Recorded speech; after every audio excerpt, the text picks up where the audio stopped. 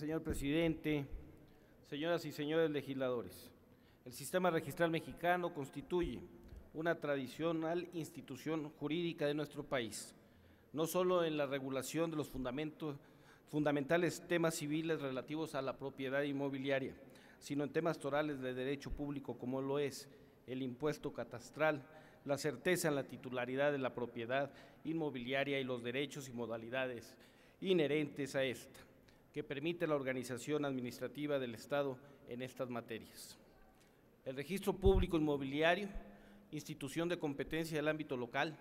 asocia igualmente aspectos de relevancia estatal como la determinación de políticas públicas de vivienda y de organización territorial, diseño de programas sociales y de seguridad pública, entre otros. Sin embargo, para el ciudadano, la importancia esencial de la institución es la seguridad jurídica sobre un derecho tan próximo y altamente valorado como lo es la propiedad inmobiliaria. De este modo, podemos señalar el valor fundamental de la actividad registral pública y este lo constituye precisamente la seguridad y legalidad en la detentación de la propiedad y en las modalidades, derechos y condiciones que afectan a la misma y por ende la seguridad en la traslación de los derechos inherentes a los bienes inmobiliarios, sin lo cual no podría constituirse un sistema jurídico esencial en cualquier Estado. La iniciativa que presenta la edición de una fracción 29-Q al artículo 73 de la Constitución Política de los Estados Unidos Mexicanos en materia de registro público inmobiliario y catastros propone una atribución de relevante importancia para el Legislativo Federal a fin de otorgar a este la facultad de dictar normas generales con el propósito de normar, homologar y modernizar la organización y el funcionamiento de la institución registral de la propiedad inmobiliaria, el registro catastral y el registro de personas morales en las entidades federativas. La reforma propuesta resulta acorde a los nuevos desafíos y alcances que proyecta el Estado mexicano y en los que es partícipe y promotor de manera preponderante el Poder Legislativo a través de la expedición de una ley general que conceda igualmente precisión, uniformidad, facilidad de acceso y publicidad y eficacia y eficiencia en la tramitación de los derechos inherentes a las materias que abordamos.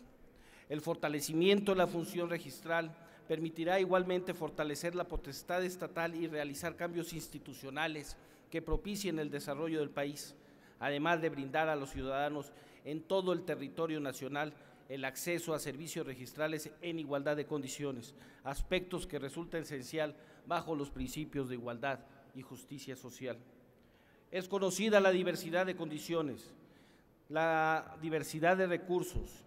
y eficiencia que reportan los registros inmobiliarios en las distintas entidades federativas, lo que motiva que los ciudadanos tengan acceso al servicio en distinto grado y por tanto su derecho no sea el mismo dependiendo del territorio situación que deberá ser superada al uniformarse las instituciones que la iniciativa promueve.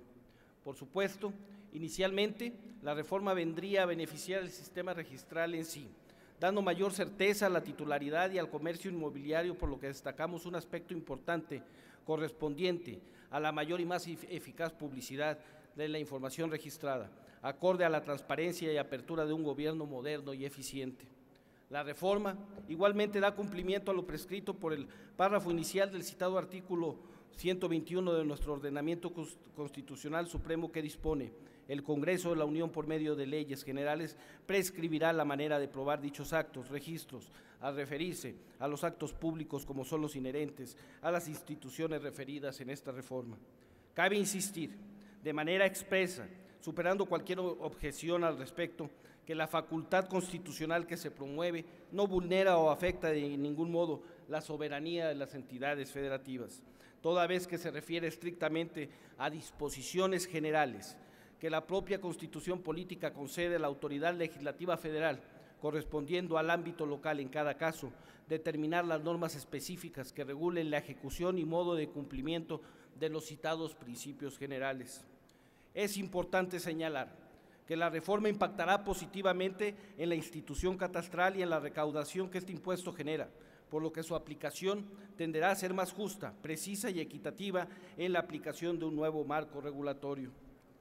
Esta reforma permitirá establecer las bases legales para la constitución de modernas, eficientes y confiables bases de datos registrales de la propiedad inmobiliaria y de las personas morales, de las que se beneficiarán tanto entidades públicas como ciudadanos, eliminando los registros ineficientes e incluso anacrónicos que aún subsisten. Reconocemos la importancia de la labor legislativa en llevar a cabo las reformas normativas que marchen acordes al desarrollo del país, fundamentalmente aquellas que impactan favorablemente y decisivamente en distintas instituciones esenciales de la estructura jurídica y social,